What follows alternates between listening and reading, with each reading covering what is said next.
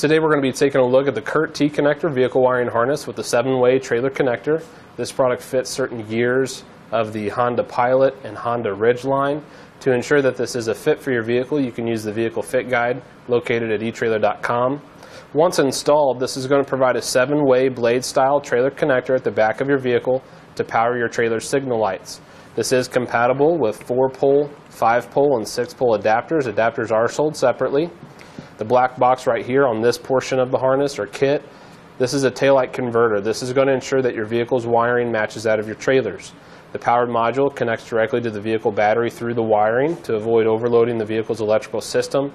It's constructed using surface mount technology for consistent, reliable performance.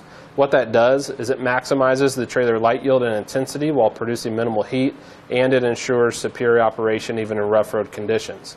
The seven-way is a very strong and durable design. Comes with the spring-loaded lid that's going to keep dirt and grime away from the terminals when it's not being used.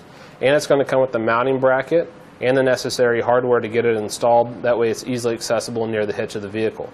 Now this unit is designed to connect quickly and easily. Comes with detailed installation instructions to help walk you through the whole process step by step. The tow harness here at the 7-way, this plugs directly into the connection point behind your rear bumper.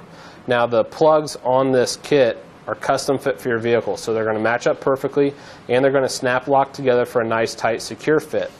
The converter portion connects in the rear cargo area or beneath the rear seat depending on your application.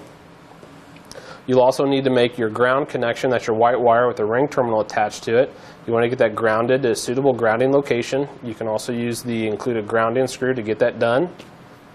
Once you have that done, you'll need to mount the converter box to a safe out-of-the-way location. You can do that using the double-sided adhesive foam tape provided with the kit. Now once you've plugged in the connectors, you'll need to insert the included fuses and relays into the appropriate locations as indicated in the instructions. Once your installation is complete, the seven-way connector is going to be stowed beneath the vehicle near the hitch. Again, it does come with the mounting bracket and the necessary hardware to get that installed and easily accessible when you're ready to make your connection and start towing. It also comes with some cable ties, that way you can secure any excess or slack in your wiring. I do recommend using a small amount of dielectric grease in all your electrical connections, like the plugs on the vehicle and the 7-pole connector itself. That grease is specifically designed to help prevent corrosion to the connection points. It is sold separately and available at etrailer.com. When it comes to the maximum amperage for the stop and turn lights, we're looking at 3 amps per circuit, and for the taillights, we're looking at 6 amps per circuit.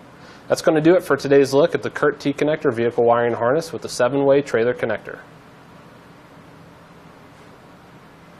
Click the link below to shop, learn more, or visit us at etrailer.com.